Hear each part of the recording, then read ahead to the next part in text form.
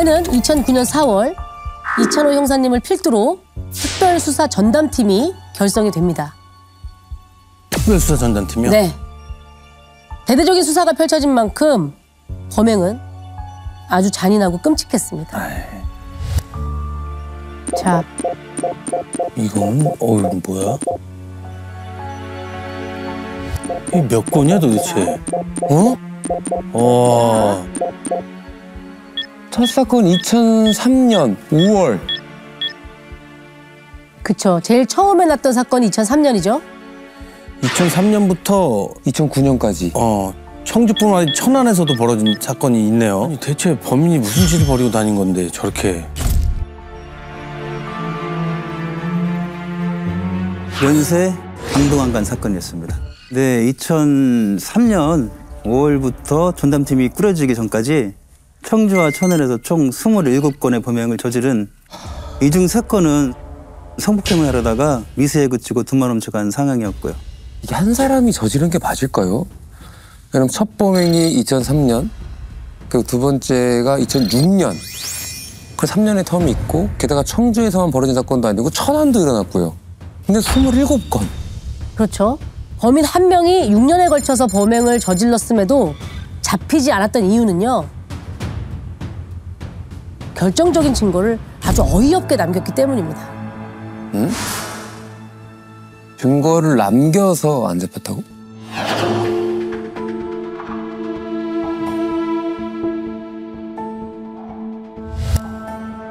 첫 번째, 세 번째, 열네 번째, 열여섯 번째, 스물일곱 번째 사건. 아니, 27건 중에 지금 다섯 개만 DNA가 나온 건가요? 나머지 사건에서는 안 나오고요. 네, 맞습니다. 첫 번째 사건 현장에서 나온 DNA가 세 번째 발생한 천안 사건과 동일한 유전자로 확인되면서 청주와 천안 사건들을 취합할 수 있었는데요.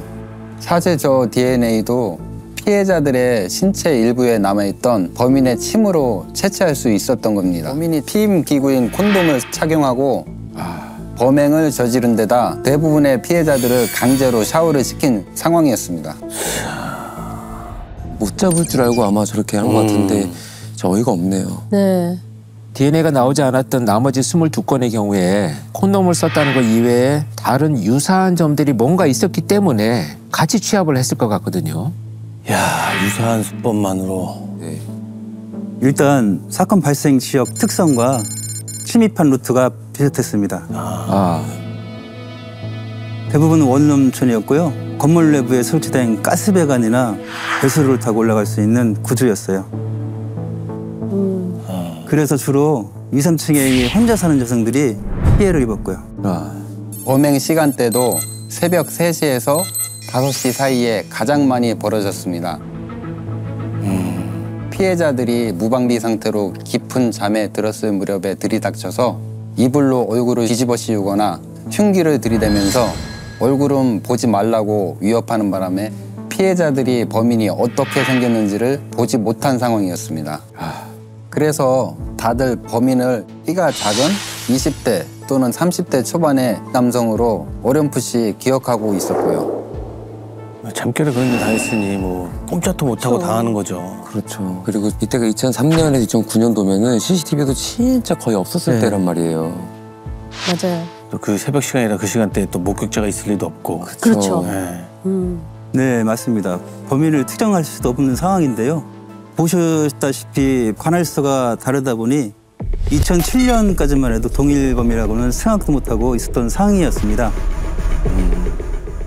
2008년 3월부터 청주에서 연이어 사건이 터지면서 저희 청주 지역 형사들이 사건 발생 주변에서 목검문을 하게 됐던 이 겁니다. 목공문이 이제 범행이 발생한 시간대를 전후해서 설치가 되거든요. 그러면 범행 추정 시간대에 이상한 행동을 하는 수상한 자들이라도 체크라도 하려고 그런 심정으로 이제 아마 했을 것 같고요. 검문이 아니었다면 사실은 이보다 더 많은 사건이 터졌을 수 있어요. 왜냐하면 음. 그 지역에 범인이 있다면 경찰이 지금 추적하고 뭔가 지금 나의 흔적을 가지고 수사를 한다는 것을 이제 저희가 볼 수 있기 때문에 결과적으로는 범행을 좀 다소 억제하지 않았나 하는 생각이 좀 들긴 합니다. 이 형사님의 특별수사 전담팀이 사건 기록을 샅샅이 분석합니다. 그런데 사건 중에 좀처럼 이해되지 않는 범인만의 특이점을 찾아냅니다. 특점? 그게 뭐죠? 피해자들 중에 혼자 사는 여성만 있었던 게 아니었습니다. 친구랑 둘이 사는 여성 집에 두 번이나 찾아가 범행을 저지르기도 하였고요. 가정이 있는 피해자도 있었습니다. 네, 옆에서 친구가 자고 있는데 범행을 하기도 하고 엄마 옆에 잠든 아이를 범인이 토닥거리면서 범행을 저질렀다. 이런 기록들이 있는 겁니다. 아니 그때 그러면 그때 당시 그 남편도 있었을 거 아니에요? 애만 있었나? 남편은 없었던 건가? 없었습니다. 남편과 주말 부부였었거든요. 네. 다 알고 들어갔네 계획하고. 그 범인이 대체 그 집에 남편이 없다는 사실을 어떻게 알고 들어갔는지 의아하더라고요. 하필 범행 당일에 남편이 집에 없다? 이거는 좀 너무 우연치고는 우연보다는 더 계획에 가깝게 느껴지거든요. 계획이 지금. 가깝지. 이거는 다 알고 들어간 걸 수도 있어. 근데 사실 범인 입장에서 굉장히 위험도가 높아요. 두 명이 이상 있다라고 하는 것은. 그걸로 봐서는 거주자가 정말 몇 명인지 또는 구성원이 어떻게 되는지 아주 디테일한 정보를 다 미리 물색을 해서 범행 대상을 선정하고 범행을 저지른 것 같지는 않아 보입니다. 사실 범행에 노출될 수 있는 위험성이 굉장히 높은 범죄예요. 네. 그럼에도 불구하고 계속 범행을 저질렀다라고 하는 것은 정확하진 않지만 성인 남성의 부재를 확인이 됐다 이렇게 봐야 되겠죠. 아니 그러니까요. 그걸 어떻게 알았지? 뭔가 이제 이런 범죄 흔히 말해 도 같은 많이 저지른 음. 놈이 아닌가 싶기도 하거든요. 그래서 전담팀은 우선 DNA를 남겼던 첫 번째 사건이 벌어진 2003년 초부터 동종 범죄로 검거된 전과자들의 리스트를 모두 받아서 20대부터 30대까지만 추려보았는데요. 무려 12,800명이었다고 합니다. 추렸는데 12,800명 있다는 거 아니에요? 저는 일단 이 숫자에 놀랐고요. 숫자에 놀란 거예요. 나는. 12,800 그렇게 많다고요? 그렇게 많은 범죄자들을 일일이 그럼 다 확인해야 되는 거예요? 아, 그 당시 다섯 건의 현장에서 채취한 DNA와 일치하는지 모두 확인에 들어갔습니다. 피해자분들이 범인은 왜 이렇게 명칠이 기냐고 죽고 싶은데 마음대로 안 된다. 제발 좀 빨리 잡아달라. 그러시는데 저희도 사실 속이 많이 타들어갔었습니다. 속이 타지요 진짜. 얼마나 조급하셨을까요? 그래서 낮에는 동종 전과자들의 DNA를 채취해서 국가수에 맡기고 저녁에는 예상 범행 지역의 구역을 나눠 잠복에 들어가기 시작합니다. 근데 아까 전에 병사님께서 교대도 없이 100일 동안 밤새 잠복을 하셨다고 하셨잖아요. 그럼 그거는 범행 지역이 넓어서 그렇게밖에 할 수 없었던 건가요? 그러게 밤새 차 안에서 혼자 버티기는 힘드셨을 텐데. 그렇죠. 그때 당시 전담팀이 총 다섯 명이었습니다. 수사 대상 12,800명, 전담팀 다섯 5명. 명? 100명이라도 모자랄 판인데 와 다섯 명 갖고 어떻게 하셨대? 이 사건에만 모두 매달릴 수는 없었으니까요. 그렇죠. 네, 사실상 다섯 명 중에서도 잠복 가능한 인원은 저희 선배 형사님, 그다음에 이 동생, 저 이렇게 셋이었습니다. 아. 네, 그래서 저희 대신 24시간 대기조를 현장에 좀 이렇게 던져놓기로 했어요. 24시간 대기조요? 그 누구인데요? 누군데 대기조로가 있는 거죠? 형님이 카메라를 설치해 보자 하시더라고요. 당시엔 CCTV가 거의 없었을 때니까요. 그렇죠. 그동안 사건이 가장 많이 일어났던 지역에 몰래 세워놔 보는 게 어떻겠냐고 하면서 형님이 아는 폐차장에 연락해서 차까지 구해 오셨더라고요. 거기다 카메라를 설치하자면서요. 그래서 선배랑 저도 사비로 카메라를 샀죠. 근데 그게 저희한테는 독이 돼서 돌아오더라고요. 어? 왜 그러지? 왜요? 범인이 눈치챘나? 저희를 보는 시선이 잠입이 좀 생겼습니다. 잡지도 못하면서 쟤네 편하게 일한다는 소문이 그때부터 이렇게 돌기 시작했기 때문에 그렇죠. 아이고. 모르는 사람들은 그렇게 얘기를 하죠. 인력이 없어서 사비들에서 카메라까지 설치했는데 그건 좀 그렇다. 사실 그런 불만이 나올 만도 했었습니다. 왜냐하면 저희가 이제 점심을 먹잖아요. 그러면 카메라를 싹 수거를 합니다. 메모리 카드를. 그래서 사무실에서 분석을 하고 저녁에 또 경찰서를 퇴근해 버리니까 왜 잠복을 서야 되기 때문에 예. 음. 몇 시간 사무실에 있다가 사라지니까 도대체 사건은 해결은 안 하고 뭐 하냐 너무 쉽게 근무하는 거 아니냐 이렇게 말이 던 겁니다. 아 생소하니까. 네. 각자 차에서 전날 저녁부터 다음날 아침까지 꼬박 잠복하다가 집에서 4시간 정도 잠깐 자다가 카메라 회수해서 사무실로 갔던 건데 아무도 몰랐죠. 그러니까 그 후에 사건이 터져서 현장에 가보면 어쩐지 분위기가 냉랭하더라고요. 그러니까 이제 밤샘 근무하면서 이게 오해가 생긴 거잖아요 지금. 그래서 어떻게 됐나요? 저희가 셋밖에 없다 보니 부대는 꿈도 못 꾸고 서로 길목마다 각자 잠복을 했었는데 형님이 엉뚱하게 사건들을 자꾸 물어오시더라고요. 잠복하다 보면 참 별일이 다 있더라고요. 한 번은 잠복 중에 보급 승용차가 이렇게 들어옵니다. 한참 예정한각을 하는 거예요. 예정한각을. 예. 그렇게 하기를 몇 번이나 반복하는 거예요. 그래서 운전자는 여성이었는데 찬주는 남자인 걸로 이제 봐서 남편 몰래 바람을 피우고 있는 것 같더라고요. 그리고 한 번은 이제 저희들이 잠복을 오래 쓰잖아요. 잠복을 쓰는데 바로 앞에 차트리범들이 차례차례 털고 나옵니다. 저희들 차까지. 예, 그래서 점점 제 차로 오는데 저는 지나가라 지나가라 했는데 차를 막 땡기는 거예요. 막 따려고. 그래도 가만히 있어도 억지로 딸라 그래서 약간 내려서 이제 인기척을 냈습니다. 그랬더니 이렇게 도망가더라고요. 그러니까 안에 이제 우리 형사님이 있는지도 모르고. 모르고. 네. 잠복을 들키면 안 되는 게 더 중요했기 때문에 그렇죠. 그게 소문이 나니까. 네, 그런 선택을 하신 거죠. 아, 그러면 차터리범 안 잡았어요? 그래서 저희들이 몰래 따라가가지고 그때 일곱 명을 잡아서 지구대에 연락해서 인계를 했습니다. 그러니까 현장에서는 못 잡고 그쵸. 그렇죠, 그렇죠. 네, 따로 이제 체포를 했었고. 연계하고 걸려야 할건안 걸리고 나타날 사람 안 나타나고. 근데 또 그 와중에 그 범인을 또 잡긴 계속 잡으셨네요. 밤샘 잠복을 두 달 넘게 강행군으로 하다 보니 체력이 말도 못하게 뚝 떨어지더라고요. 아, 그렇죠. 근데 형님이 어느 날 갑자기 출근을 안 하시는 겁니다. 음? 이 형사님 중에서 쓰러지셨나? 예. 아 왜? 뭔 일이 있으셨나? 평소에도 형사는 체력이 중요하다고 입버릇처럼 말씀하시더니 그때도 꼬박 밤새고 운동하러 가셨다가 팔이 부러져 병원에 갔더라고요. 아이고. 아, 피곤해서 발을 헛디뎠다고 하시면서요. 그러니까 이제 피곤하시니까 운동을 해서 내가 좀 단련해야 또 이럴수록 운동해야 된다. 운동 해야 된다. 잠복 근무도 해야 되고 그게 또 역효과가 나시고 네. 또 다치셨구나. 그래서 그날 병원에 하루만 있다가 오라고 했는데 생각지도 못한 일이 터진 거죠. 생각지도 못한 일. 일이면 그날 또 사건이 뭐가 났나 보다. 네, 제가 그때만 생각하면 가슴이 먹먹합니다. 사실 하필이면 제가 잠복을 서글했던 그 근처에서 사건이 이렇게 터졌으니까요. 새벽 4시쯤 당직팀에서 연락이 왔는데 강도 강간 사건이 벌어졌다는 연락을 받았습니다. 마찬가지로 피해자가 범인을 보지 못했는데 범인 패턴으로 봐서는 동일 범인 것 같더라고요. 제가 그때 전화를 받고 얼마나 죄책감이 들었는지 모릅니다. 그날 다치지만 않았다면 피해를 막을 수도 있을 거라는 생각이 들었기 때문에 잠시도 병원에 뭐 더 있을 수가 없더라고요. 그래서 기부스를 한 채로 바로 현장으로 예, 달려갔습니다.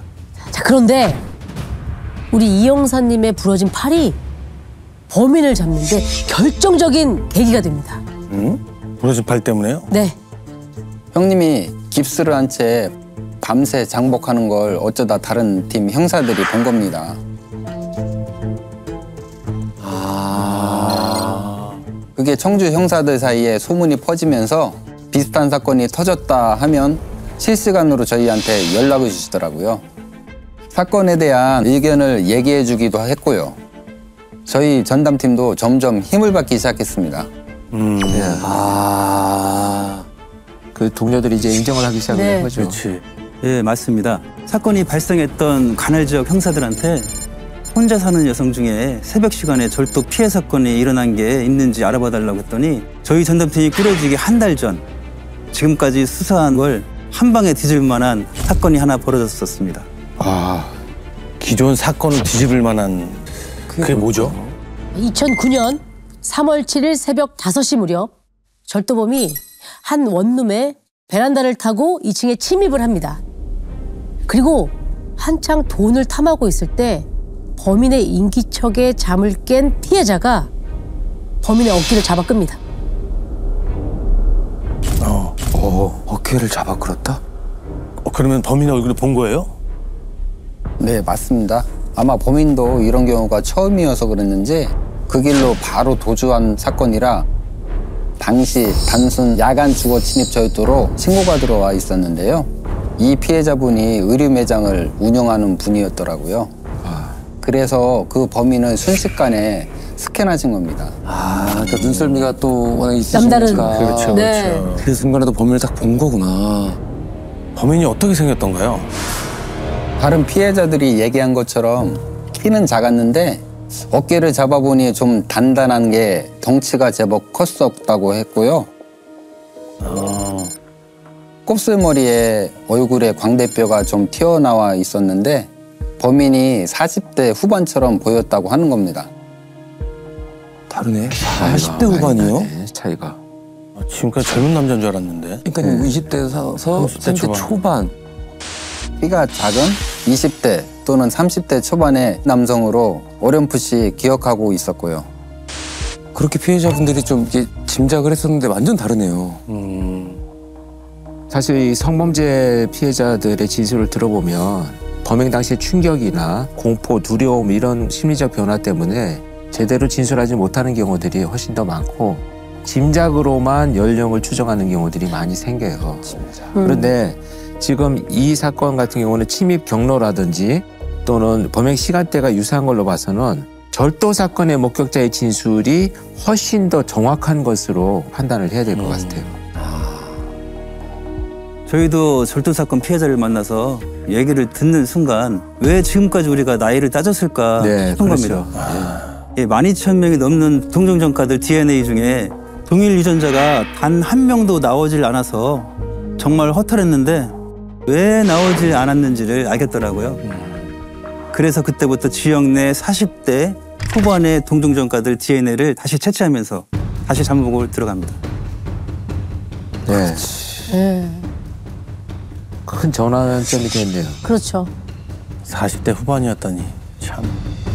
그리고 우리 형사님들은 이 수사 방향을 완전히 틀어버립니다. 그동안 범인이 나타날 지역을 매번 바꿔가면서 잠복할 장소를 옮겨 다녔었는데요. 수사력을 더 이상 분산시키지 않고 장시간 뻗치기를 시작합니다. 음. 한 군데서 뻗치게 했다는 거 아닙니까? 네네. 근데 이걸 어디서 뻗치기를 해요? 왜냐면은 이 범행이라는 게 어디서 할줄 모르는데. 그렇죠. 언제, 어디서, 어떻게 나타날지 모르잖아요.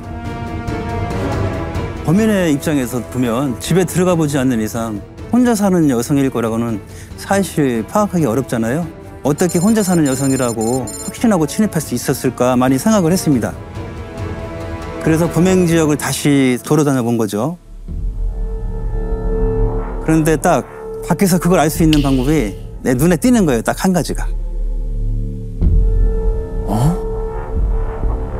밖에서 할 수 있는 방법이요? 그걸 어떻게 할 수 있죠? 베란다에 빨래 널린 게 보이더라고요. 그러니까 빨랫감으로 그거를. 이제 아이가 있는 집도 보면 이제 주말 부부였으니까 남편의 그 세탁물이 걸려 있지 않은 경우들이 네. 있잖아요. 그런 걸 보면 어린이하고 뭐 여성이 혼자 살 수 있을 것이다 이렇게 판단을 했을 가능성이 높아요. 그런 경우에 자기가 범행을 저지를 때 제압이 쉽겠다 생각을 해서 이제 침입을 한 것 같은데 그걸 이제 형사들이 파악을 하기 시작을 한 거죠. 여기 기억에 나는 게 저희 어머니 같은 경우는 아버지가 출장을 1박 2일만 어디 가셔도 빨래도 일부러 놓으셨어요, 실제로 저희 네, 어머니가. 네. 아니 근데 그 뭐 그런 집들이 한두 군데도 아니고 어디서 뻗치기로 계속 가신 거예요? 그래서 저희들이 이제 범행이 일어났던 동네 중에 가장 범행 횟수가 적은 곳을 찾았습니다. 아, 그리고 외벽에 가스 배관이 설치된 건물은 직접 한번 올라가 보기도 해봤고요. 네. 아무리 새벽이어도 지나가는 행인한테 눈에 띌 수 있는 곳은 피해서 건물 하나를 집중적으로 저희가 마크하기 시작합니다. 음. 그러니까 범인이 돼서 범인이 갈 만한 곳을 콕 짚으셔서 거기서 이제 뻗치기를 하신 거구나. 그쵸. 그럼요. 근데 이제 확률적으로 이제 너무 지역이 넓으니까 이게 과연 나타날까요? 그러니까요. 건물도 네. 한두 개가 아니고. 음. 자, 그렇게 수사를 시작한 지 100하고도 하루가 지난 2009년 7월 26일 새벽이 옵니다. 그리고 그때 이 형사님 앞에 누군가가 다가옵니다. 아, 그럼 범인인가 보다. 그러네. 새벽이면. 아닙니다. 그 건물에 사는 남자였습니다. 아, 술에 취했는지 제 차 쪽으로 와서 창문을 쾅쾅 두드리더라고요. 왜 자꾸 남의 집 앞에서 차를 세워두느냐 하면서 다른 데로 가라고 하면서 계속 그러는 겁니다. 거기가 바로 그 집도 아니었는데요. 주변이면 불편할 수도 있긴 하지만 바로 집 앞도 아닌데. 굳이. 어. 일단 뭐 가슴이 철렁하셨겠어요. 아니면 이 들킬 수 있는 일이잖아요. 막 거기서 추객이면은 막 시끄럽게 했을 거 아니에요. 아 근데 그 당시에 형사님 입장에서는 잠 복 중이에요. 막. 그렇죠. 양해를 구해야 되겠죠. 어, 뭐 어떻게 어떻게 또 뭐, 설명을 또 해야 되는데 또 이거 크게도 말 못하고 그러면 이걸 어떻게 그 당시에 해결하신 거예요? 창문을 살짝 내리고 신분증을 보여줬습니다. 그래서 무조건 가라. 잠복 중이다. 그랬더니 형사면 형사지 하면서 소리를 계속 치는 거예요, 더. 그러면서 지구대에 신고를 합니다. 아, 파고한 날 계속 차를 받추는 사람이 있는데 차 좀 치워달라고. 아이고 참. 난리도 안 했었습니다, 그때. 걱정되는 게 그러니까 범인이 길 가다가 듣기라도 했으면 어떡해요 이거. 그러게요. 아, 이런 진짜 형사님의 애타는 속을 아는지 모르는지. 그날 새벽 네. 유독 달이 찼습니다. 달이 크면 그림자가 길어지는 법이죠. 형사님이 민원을 받고 차를 빼려고 하는 순간 그림자 하나가 움직입니다. 저도 순간 저거다 싶더라고요. 이 타이밍 범인이 나와야죠. 네. 나타난 거죠. 바로 차를 세우고 금방에 잠복했던 재원이랑 형님한테 전화를 합니다. 왔다 모이자.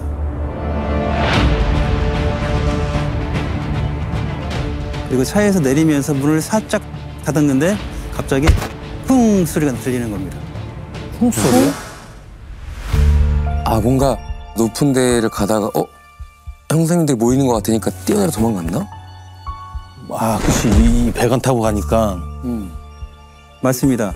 어. 그래서 그 그림자가 달려가는 쪽으로 무조건 따라붙었죠. 야, 이 형사님이 직감으로 딱.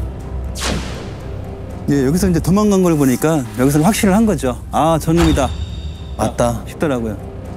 담을 훌쩍훌쩍 떼었는데 보통 빠는 게 아닌 겁니다. 어. 그렇게 이제 동날을 계속 추격하다가 두 바퀴를 돕니다. 그래서 선배가 잠복 서 있던 쪽으로 가더라고요. 그래서 앞뒤로 이제 딱 막혀버리니까 또 담을 넘으려고요. 이제.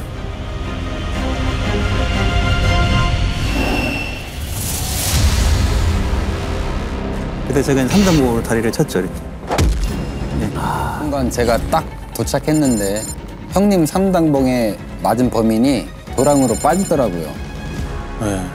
그 좁은 도랑에서 셋이 얽히고 설켜서 몸싸움을 하는데 선배가 갑자기 페이저건을 꺼내더니 쏘더라고요. 아니 그렇게 얽히고 설치고 하는데? 네. 그 좁은 데서요? 잘못 쏘면은 테이저건 안 되는데. 네, 안 되는데 이거 범인이 맞았겠죠. 예. 제가 맞았습니다. 아, 테이저건을요? 예. 그게 이제 빗나갔던지 테이저건을 맞은 줄도 모르고 제가 수갑 채우는 데만 이제 신경이 쏠려 있었습니다. 그때 당시. 아, 야, 테이저건을 이겨내셨다고요? 네. 그 느낌은 느낌은 났습니다. 끝나고 나서 이제 아픔이 왔겠지. 그때 아직 모르고. 그 자리에서 바로 자백을 하던가요? 그럴 리가요. 무조건 안 했습니다. 안 했다. 난 건물에 올라가지도 않았다. 또 강간은 무슨 강간이냐 하면서 부인했습니다. 그럼 20분 동안 왜 싸운 거야? 그러니까 야, 참.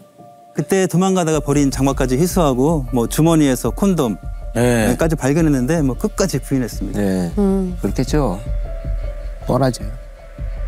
DNA가 지금 있잖아요. 음. 지금 발표해봐서 무슨 소용입니까, 솔직히. 그렇습니다. 드디어 이 악랄한 범인의 이름을 부를 수 있게 됐습니다. 지금부터 연쇄 강도 강간범 이 씨라고 부르겠습니다. 이 씨는요 가정이 있는 가장이었습니다. 더 놀라운 건 이 범행을 저지르고 다녔던 이 지역의 인근 웨딩홀에서 영업부장으로 어? 멀쩡하게 아유, 직장 생활도 하고 있었어요. 거기 인근에요. 네. 아 어떻게 보면 빨래도 그렇지만은 거기서 영업부장을 하니까 어느 정도 동네에 돌아가는 소식은 다 알 거 아니에요. 그렇죠. 야이 쓰레기 같은. 가장에다가 웨딩홀의 영업부장? 야 진짜 어떻게. 이 27번을 이놈이 다 한 거 아니에요 지금. 그렇죠. 그쵸. 놀랍게도. 아 이거는 말이 안 된다 이건 진짜. 음. 그러니까 그냥 가면을 쓰고 있었네요, 진짜로. 자기는 가장이고. 겉으로 보기엔 아무 문제가 없는 평범한 40대 가장이죠. 자식도 있는 사람이 왜 그런 짓을 했냐고 물었더니 자기도 모르게 갑자기 욕구가 생기면 자다가도 벌떡 일어나서 나갔다고 하더라고요. 자다가 말고 벌떡 일어나서 간다는. 하, 말이 돼. 남 얘기하듯이 얘기하고 앉았어. 그러면서 콘돔을 왜 썼는지도 얘기를 했는데 저희는 DNA 안 남기려고 했다거나 피임을 하려고 했을 거라고 생각을 했는데 자기가 혹시 성병에 걸릴까 싶어서 썼다고 했습니다. 아 진짜 이기적인 예. 그냥 가정이 있다고 그랬잖아요. 네. 부부 관계도 해야 되니까 그렇죠. 만약에 혹시 성병을 옮아오면 면, 아내가 알게 될 거니까. 야 이게 진짜 더러운 병보다 병중보다도 나. 그럼 이 정도면 당연히 전과도 있었을 것 같은데요. 네, 특수강도 강간으로 징역을 살도 왔어요. 그렇겠죠. 네. 언젠가는 잡혔을 놈이었죠. 저희가 정확히 DNA가 몇 건이나 확보됐는지 알려주지 않았더니 신고가 들어오지 않았던 추가 범행까지 모두 야. 풀어서 총 32건이 인정됐습니다. 야, 지 욕망치 하려고 저런 짓을 하냐. 아유 야, 저 죄값은요?